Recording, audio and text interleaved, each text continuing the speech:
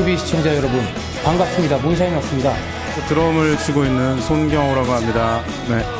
네, 기타를 맡고 있는 백준명입니다. 보컬 기타 맡고 있는 차승우입니다. Soy el bajista 최창우. 반갑습니다. Spanish. Spanish.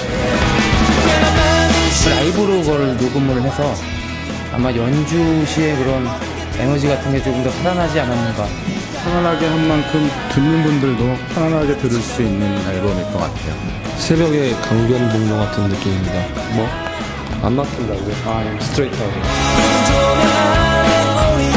손경호 씨가 보컬을 맡은 나는 아직 미치지 않았다. 그 곡을 가장, 가장 좋아합니다. 열 손가락 깨물어서 안 아픈 손가락 있겠어요? 다 좋아요. 예. Bye Bye Bye라는 노래가 있는데요. 그 노래가 제일 좋습니다.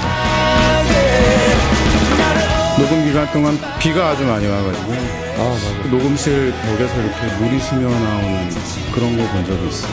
그 노, 그게 에피소드인가. 평상시에도 그냥 그거 입고 놀고 뭐 그러고 있고요. 별 구분 없는 것 같아요.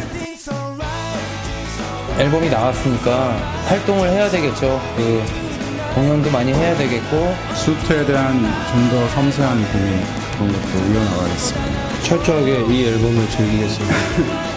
네, 나일론 많이 계속 응원해 주시고 아울러서 저희 문사이너스도 잘 부탁드리겠습니다.